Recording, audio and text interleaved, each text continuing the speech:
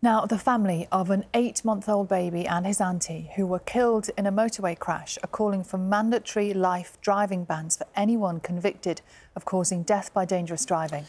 Daryl Anderson was jailed for 17 years and banned from driving for 21 years. He had been drunk and was travelling at speeds of more than 140 miles an hour.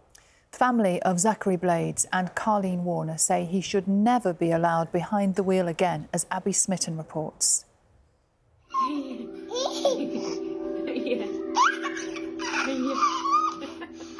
Eight month old Zackary Blades, a little boy who never got the chance to grow up.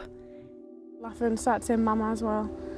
Um, didn't get to say dada though, but He was killed alongside his aunt Carleen in a horrific crash on the A1 in County Durham in May. I didn't realise how loved she was until until she was gone. Carleen's sister Shalorna, Zackary's mum, had gone to pick her up from Newcastle Airport. Zach was in the back seat. This man, Daryl Anderson, had also been on a flight. He'd been drinking, but chose to get behind the wheel of his car. He was spotted driving at speeds of 140 miles per hour, taking photos of himself behind the wheel. He rammed into their car, killing Zach and Carleen instantly. I've just got back off holiday.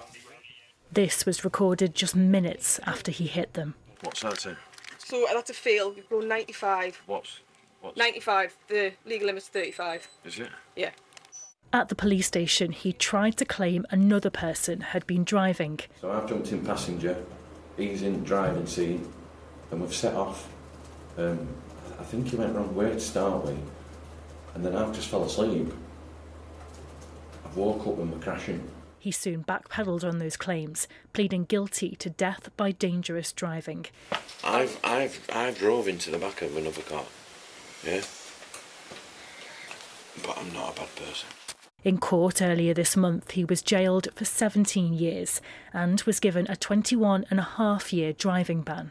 He decided to kill people. His And choice. that's, there's no difference from using a gun. Yeah, and for his reckless Mm. driving. There was three bullets fired that two killed two innocent lives. One went through our family's heart.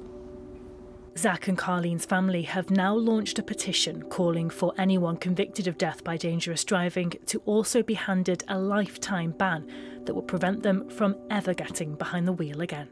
and no one should have to go through what we've gone through. And if we can stop that next person, make them think twice, then we've done some good. And Carleen and Zach's lives were more than that. Um, so please join us now in our justice for Zackary and Carleen, and we will not stop. I will fight every single day that I'm on this earth for them. Abby Smitten with that report. We're joined now on the sofa by Shalorna, Zackary's mum, and Lareesa, who was auntie to Zackary. Good morning to both of you. Thank you for coming in. Uh, Shalorna, we're so sorry about everything you've been through, all of you as a family. Do you want to just start by explaining why it's so important for you now to, to, to speak publicly and explain that, that grief and, and, and what we want to happen now? Um, yeah, um, Zach, Zachary and Carleen, they were both taken, they were so innocent, um, they were both taken so tragically, and it, it didn't sit right with me as a mother and a sister to just sit and let that just be normal. It's not normal. And if we can now do something to help next families, help us, um, in getting a bit of justice, then we're doing something for them both. Um, and that's why I need to do it for them both. You need to do. Yeah. It feels like you. Yeah, I have, yeah, of course. Yeah. And what is it that you want now? Um, yeah, so he got sentenced to 17 years, and we knew, we knew it was, we knew he wasn't going to get life sentence, and that it was just never going to be long enough. But the driving ban, the lifelong driving ban, it should be mandatory. I don't know why we're giving people more and more chances. It's protecting the criminals rather than the families and everyone else on the streets. It's protect- we're not protected by these people, giving them chances after chances. He got a driving ban of 21 years. He's in prison for 17 years. So most of the time he's banned from driving, he won't be able to drive because he'll be in jail anyway. So what you, you, you saying that's a that's a nonsense? Doesn't make sense. It is. It's, it's yeah. It's nonsense. Um, it starts from when he got sentenced. So when he gets released, he only serves two thirds of his sentence, so it's 11 years. He's got a 10 year driving ban.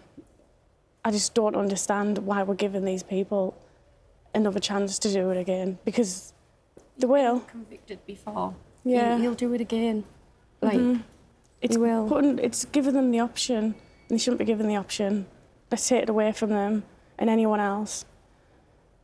And, and the details of the way he was driving, I mean, drunk and at a speed 140 miles an hour. When, when you were told those details, Um, yeah, it, ma- it actually knocked me sick um, because everyone said he must have been going at some speed, but I never expected that fast. It's a speed that you can't imagine when we're on the train down. Trains don't even go that fast, and it, you just it's unimaginable speed. It, you can't imagine it. I worked it out. It's 62 metres a second he was travelling. Yeah. Like, it's, it's not normal. Cars shouldn't go that fast. If trains don't, cars shouldn't. And as a family, you have already been through an unimaginable amount. What, beyond the petition, beyond this campaign, what else would help you now? Um, do you know? So I think nothing's going to bring Zach and Carleen back, but we want to try and do some good in honour of them. Like Zach's so innocent; he was an eight-month-old baby, and Carleen did no wrong.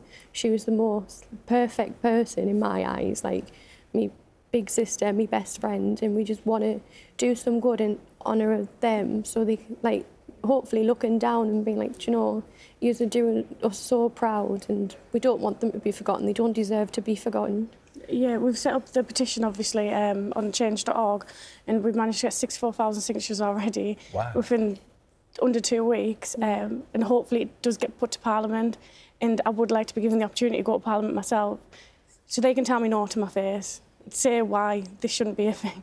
And we're hoping to set up a charity in the name because we want to get a haven room put up in Durham Hospital um, after the names because when we went to Newcastle we had a haven room and it was just a private space that the family all went to and when we visited Carl- Carleen and Zach um, in the hospital it was just a way, it was private and we would love to do that in Durham Hospital because not all hospitals have it. so a Haven room is it, it, it, it's not a medical room. No, it's it's, literally like um, A it's got a home little from home. home from home. Yeah, it's got a, like a bathroom in, um, a little lounge, kitchen. We'd love to do that. Try and get in as many hospitals as we can. like really. a safe space kind Yeah, of place. So, so you're away from all the busyness of the of the hospital, right? Yeah. Yeah. And now, as you look back on that shocking time, how much did that time in that room help you? massively. Yeah, c- families we've got family all over, so it was just somewhere we had it. But like we were in hospital for just under a week, and every day we'd be in that room.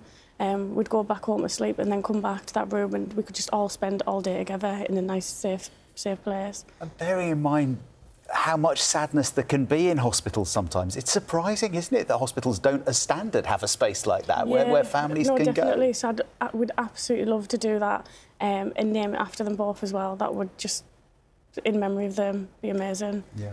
You say you want to take this petition to Parliament Mm-hmm. in, in case they say no to your face. What will you say when you get there? What do you want to say? What's the message? Tell me why you think we should be giving them a chance again. Just tell me what is your what's your honest opinion? Because in my eyes, and I think a lot of people's opinions, why are we're giving them another chance, and I want to hear it from them because that, it could happen to anyone's family. It could happen. It could be them next.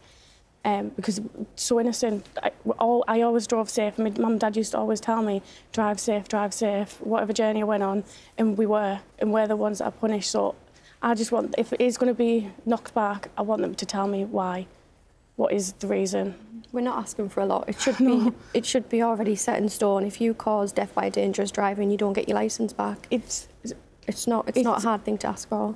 um, for example, someone has a gun license, they shoot and kill someone, they won't get a gun license back. It's the same with a vehicle. They've operated that vehicle disregarding the law. Why are we giving them that license back? It's the same. Sally and I often say that, you know, we're, we're so amazed by the strength people find. Families who've been through, like you have, terrible things in their lives. And from that, they, they gain a, a strength to, to come and talk about it, to campaign for change, to get some kind of positive or some sort of result. What, what does campaigning like this give you after losing your sister, after losing Zach? How, how does it help? It, yeah, it's a hard. One. To me, it gives me a purpose Mm-hmm. Like we're doing this for them. We're not doing it for us. We're doing it to hopefully do some good to make sure no one else goes through this. And if we don't, it's the life was worthless. Then it's not. It, they've gone for no. And if we can try and get something changed because of what's happened here, um, because if I don't do this, I'll, I think I'll crash. Really? It's keeping me busy. Yeah. It gives you a sense Oh, of purpose. absolutely. I just noticed your necklaces that you're both wearing, and you've got you've got a Z on yours. Yeah, that for, and then- for Zackary. Yeah, and then a star, um, one for Carly, one for Zach. That someone got us. Oh, and that again keeps their, their memories alive, and the, as, as you go Mhm. about your campaigns. Yeah, definitely. And before we let you go, um, just tell us about Zackary. Oh, um, yeah, it was just so he was just so happy. He was then it, it, it was when he first came. He was hard, and he used to cry all the time. Um, and then as soon as about after two months, he just turned to the happiest little boy. He was, he said "mama" um, for, for a couple of months, and then um, loved his food. And he was such a mammy's boy as well. He was glued to my hip. Um, and he used to put his hands out up to me. Yeah. I um, he came to my house on the Wednesday and we never saw him often because of where Shalorna lived. And I didn't think he'd remember me and then he put his hands out to me and I was like, this is the start of the bond we're going to have. Um, and Shalorna said he doesn't put his hands out to everyone. And I just knew, like, it, it's all just been rip, ripped away from us.